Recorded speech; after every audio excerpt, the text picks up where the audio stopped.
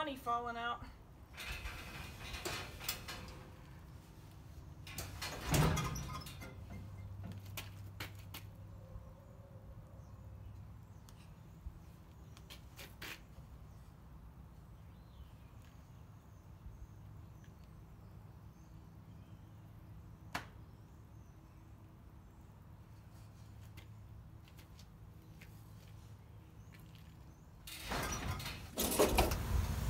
There's money falling out of that bus.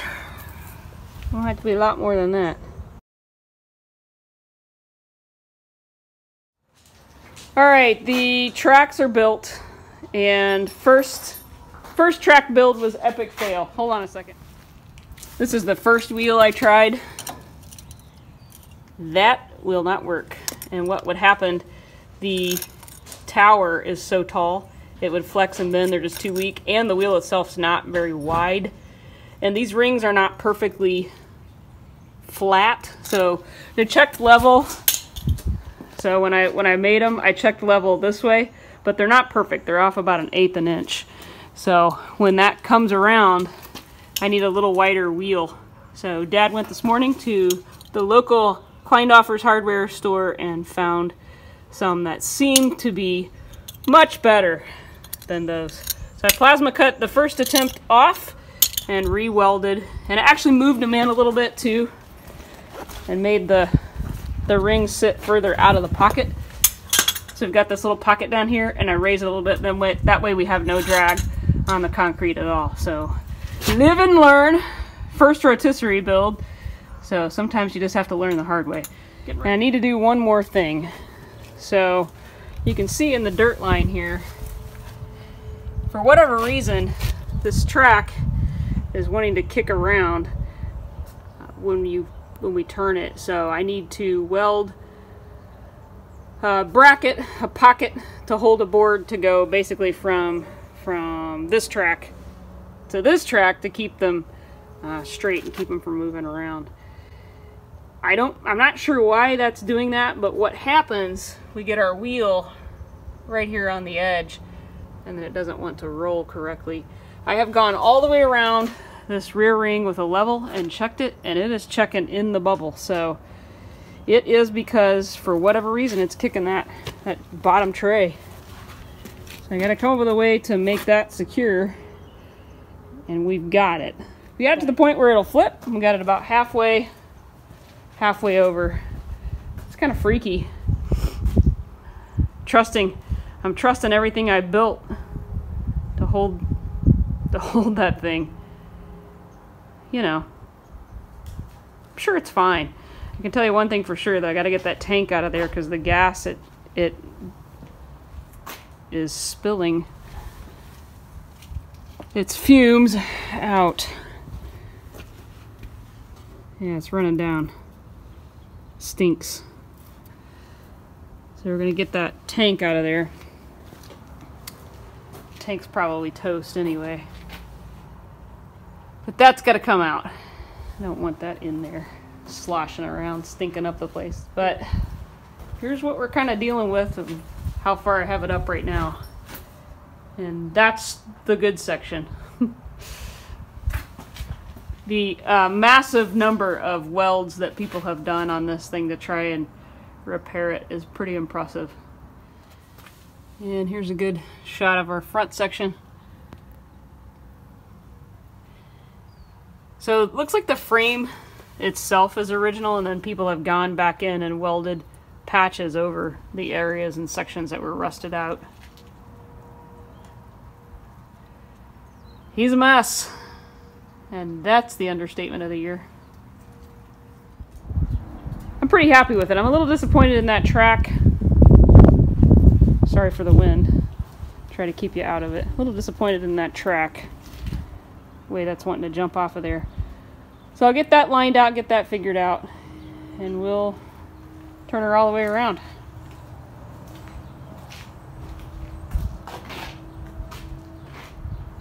It'll flip. Let me uh, set the camera up and I'll drop it back down level. It does want to sit kind of level, kind of upright which I guess is a good thing. Um, I'm actually kind of shocked it's sitting crooked right now with no brake or braces on it. But I'll drop it down straight and then I would like to take a paint scraper and I just want to see what that looks like underneath that. So let me set the camera up and I will uh, tip him back down and see how much muscle that takes.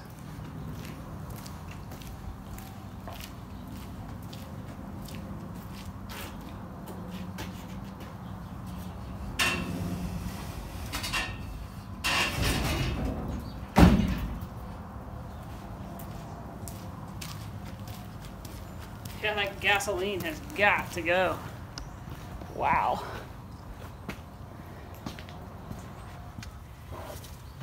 It's a good feeling having it up on the rotisserie, I can tell you that. I feel like now I can really just kind of work a little bit each day.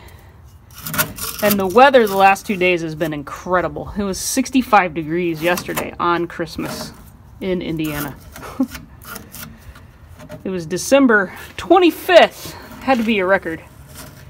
And today, the day after Christmas, it's probably about 60 out. Kind of therapeutic, isn't it? So early Volkswagens, they painted the frames the same color as the car and then learned, hey, that's kind of expensive, and so they quit doing that. So you'll see a lot of early buses and early Beetles that have uh, same color, like uh, convertible top frames in the early verts were painted the same color as the car, and then they started painting them black. And the bottoms of the buses were usually like a gray or a black. Later years were black. Let me work on that a little bit and I'll bring you back after I've got it all cleaned up. Well, that's what that cleaned up to look like. And there's the, the leftovers. But that, even when this bus was uh, repainted all the number of times it was repainted, that was never repainted. So that is original Dove Blue on the frame there even the channel that's running the cable here, even that has original blue paint on it. So that's pretty impressive that that survived, although that is pretty well coated with oil and gunk and grease and all that, so that's shocking, I guess, that it survived. I would like to get it completely on its side today. But I, I'm here by myself now. My dad and my brother were here earlier because they wanted to see it. And uh, I could get almost there, but I have no way to stop it. So that needs to be my one of my next uh, things to build on it. Is a way where I can kick kick something into the wheel or something where I can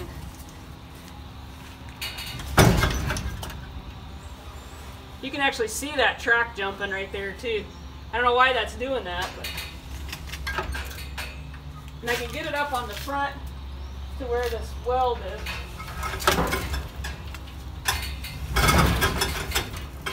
And it almost wants to hold itself right there.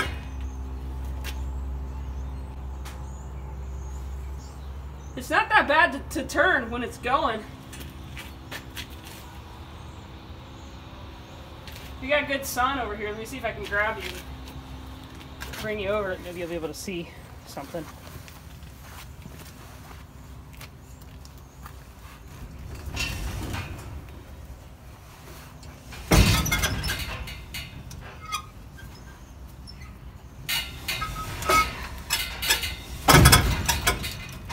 Right there, it almost wants to hold itself, but not quite.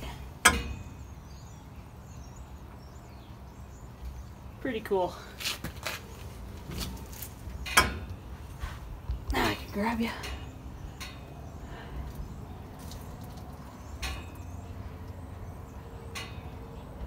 Good sunlight, at least you can kind of see what we're dealing with here.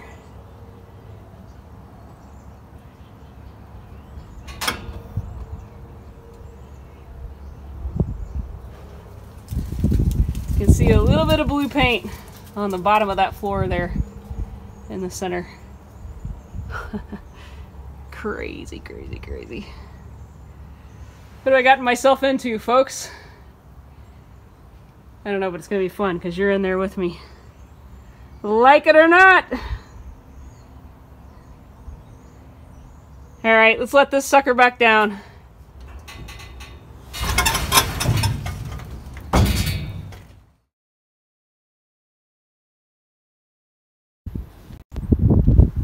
Hey everyone and welcome back. I'm going to try and finish up uh, the rotisserie, all the final little pieces put on today. Hopefully, anyway. Uh, the temperature has taken a turn. Over Christmas we were spoiled. It was in the 70s. And of course today it's down to 25 plus the wind. So it feels a lot colder than that. A couple people mentioned I needed to connect the two rings. They are, this bar connects the two of them and then has pieces that drop down and sit down in the rain gutter. So the other side has one as well. It just doesn't have those uh, little pieces on it. I cut them off twice and they were still too short. So I've got to recut those and I'll just weld them on the bus. So it is connected and then I'm going to make a piece very similar to that on each side of the bottom. More for a grab handle than anything else. So I've got to do that and then I'm going to design uh, my brake. Or not design it, but implement it, I guess. I have it already ready to go, so we just need to put it on there. So I'm gonna get going on that, cutting up some things. It is a little chilly, and uh, we'll see what we can what we can get done today. Everybody wants to see it go 360. We will at some point, I hope. Let's just hope the bus holds together. It's not something I need to do. It's something I want to do. So the only thing I need is for it to pivot just so that I can work on the bottom. So let me get going, get some things in place, and hopefully we can get this thing finished up today.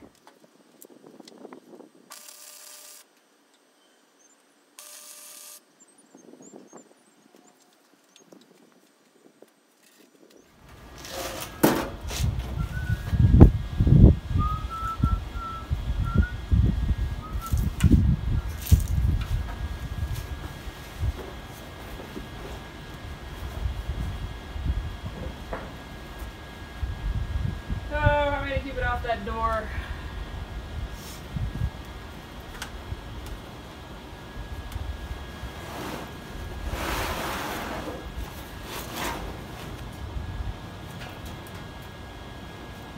Put my foot on there, the whole thing moves. Just trying to keep that off the glass.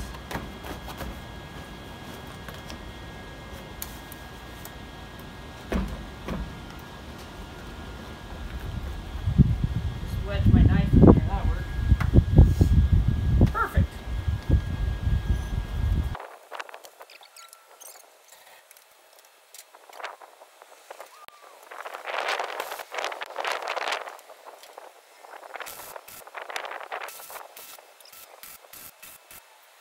Now why me that kicked out?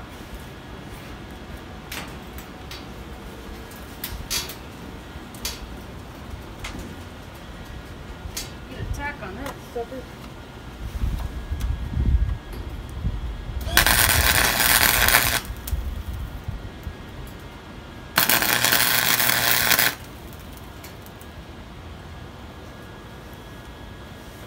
Goofball.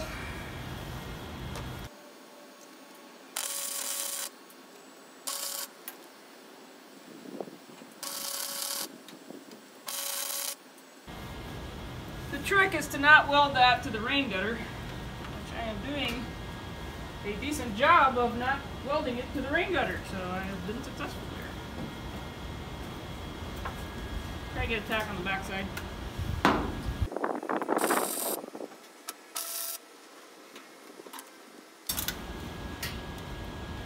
Oh, that feels amazing.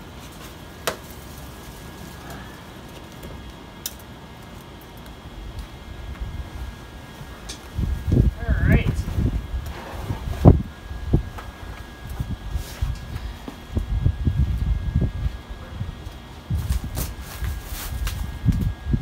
That part's done. Now I've got those two braces in underneath on the bottom side.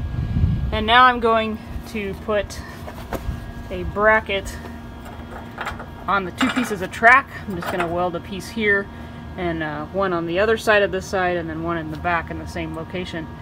Actually probably need to go hit that with the grinder, but get some raw steel exposed. I'm gonna do that and then where there are bolt holes drilled through here, we'll basically attach the two tracks so that the two tracks can't do this. Before I flip it over, that's one of the things I wanted to get done. So try and finish that up and then I think uh, I think we've about got it. Here's a little insight into what I did for a brake. I need to put a piece of wire on this, but basically you just kick it forward it doesn't have to move very much at all. And that'll stop it. And then there's a chain set up you haven't seen yet on the other side uh, that we can move around and lock it into place. So that works perfect. There's no need for anything fancy. And it can't jump the wheels real easy because it's sitting in the track there. You can see that with the sun glare or not, but let me get these welded up. We'll get a piece cut to bolt through to hold those two tracks in place and then I think we're pretty well done with this thing. Before this thing flips over all the way, I have to get this gas tank out of here. And it has gas in it. See how much it has in it.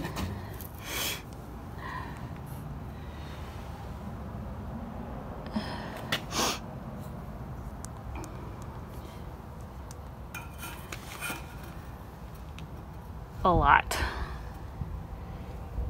You can see down in there or not, but you can see the shine of it and it is level pretty much. So, I mean, I'm tipped a little bit that way. But I got to siphon that out. In order to siphon that out, I got a siphon hose. One of these little jobbers. That has a, there's a bearing, ball bearing down in there, and you basically just shake it back and forth a few times, creates suction and then the other end is just a plain hose and you put that into your tank or wherever you're putting it but this will have to go to the hazardous waste place because it is a 1968 vintage that has definitely varnished over you can hear it rattling around in there but I think I'm pretty well done with the big stuff on the build I've got the the two pieces on the two bleh, try that again. Got the two tracks on the floor where they can't come apart. So this piece here keeps the tracks from doing this. And then that piece right there is kind of my inner grab bar. I figure uh, when I'm welding also it might be nice to kind of hang things on or rest things on. And they're just bolted, they can come out. So if I decide it's in my way, I'm putting in a patch panel or something, I can just remove it. And uh, these are bolted as well because when I'm done with this, I want to be able to take the whole thing apart. I do have a very unique situation though. Of all of the wheels, this one wheel has an issue. And I'm going to show you. I may have to replace that wheel. I don't know if the camera will pick it up or not. It's so dark in here right now one wheel. I don't know if you can see that or not. But as I'm moving it, that wheel itself, can you see it? The wheel is moving that way for whatever reason. Put a spacer in it maybe? It's the only one that's doing it. And it kind of looks like the bus is the whole thing is maybe going down a little bit almost like the carport's on level so I may have to wedge a shim in under here because what happens as I get around it's gonna run out of wheel real quick and you can see that it's it's tipping down and the the track is moving but the wheel is actually sliding over too so I've got multiple things going on here and there is a little bit of a gap right there so I'm wondering if I couldn't brace that up maybe and, and fix that. But that's my only real issue with it. So gas has to come out before she goes, or before Pickle, he goes all the way around. Uh, pretty happy with how that's turned out. And someone was talking about how hard it is to move. It's not hard to move at all. My son's four years old, and he can move it. I've just got my hand right here and I'm moving it pretty easily one-handed. I think I hit my pipe up there. Oops. Hope that didn't take out a headlight. Alright, I got those two bolts that are on the tank straps uh, loose and those are out. made in Western Germany. And then up where the spout goes outside the vehicle, there's a seal. There's just basically this rubber grommet that goes between the body and just kind of fits around the tank like that. So I don't see anything else holding that in its place. We'll double check, but I think the tank is ready to come out of there. We got a lot of that out of there, but I just want you to see this stuff is like orange. Looks like oil. Nasty.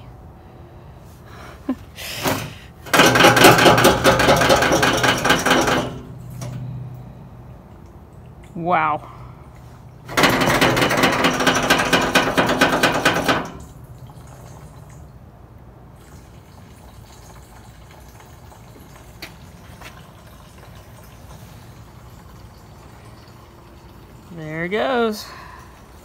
Hopefully there's not more than five gallons in there.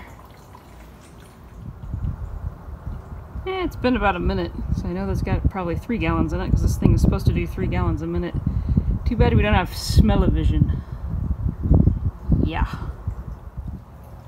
So if you've never used one of these before, it's they're pretty neat the way they work. There's a little brass, that brass fitting that's on the end is down in the tank and it there's a little glass ball in there and you basically just saw what I did. You just shake it back and forth until it kind of creates like a vacuum almost and it just draws it right out.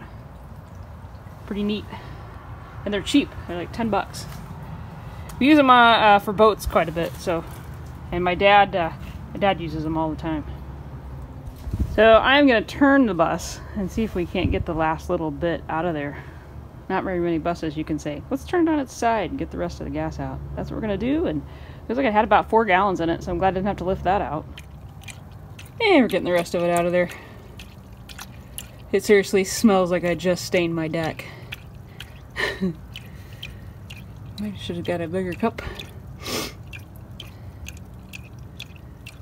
Yeah, let me run real quick. That'll sit there.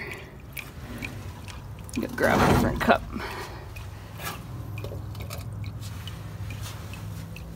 Thanks, Pizza X. Best pizza in town, and the best part about ordering pizza from them, you gotta keep the cup. Have to switch one more time, maybe two more, I don't know. The advantage of this one is it, is it was clear. You can kind of see where it was. Yeah, we're getting close.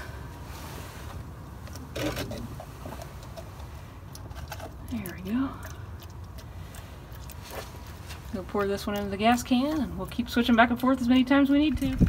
Had to hold the cup up closer. The wind is whipping through here and it's blowing our pee stream out of the out of the cup. Alright, you've seen enough of that. I'll bring you back. Just like Maxwell House, I guess. Good to the last drop. Alright. Let's call that good. As you can see, it is dark. Let's try and get that tank out of there. You're probably not going to be able to see any of this, but I'll roll film. If you see something, good. If you don't, you should have been here.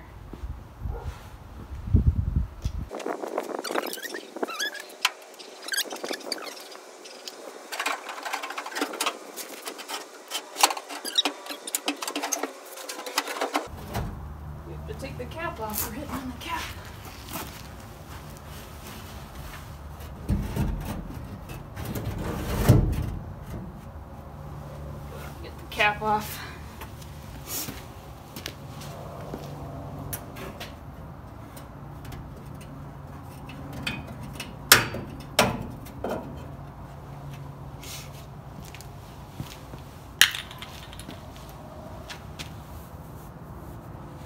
My light might be in the way.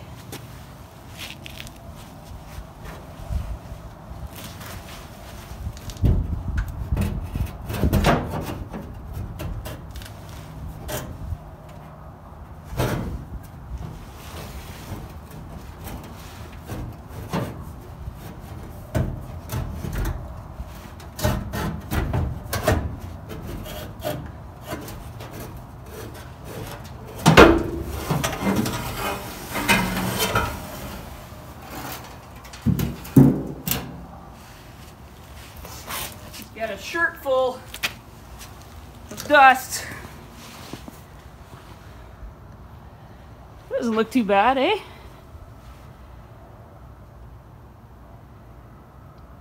It's not all rusted out on the bottom. There's the back. Somebody's been building up there. That's probably what my shirt just got full of. Oh well. Oh my. Well, there it is, folks. Gas tank is out. Here's our little village back there. Not actually as bad as I thought it was going to be. Not too bad. And that actually wasn't that bad to get out. I expected to have to wrangle that a little bit more. Hee hee. That is out. I need to probably put that uh, piece at the bottom of the tank back on just so I don't lose it. And I had Aaron build me some shelves up high so I can shove some of that stuff up there. So with that, tank's out. I'll catch you on the next one. And I don't know about you, but I'd kind of like to see this thing go all the way around. Even though we don't need to, it's not necessary. It's kind of necessary just for me to see it. Thanks, everybody, and uh, I'll catch you next time.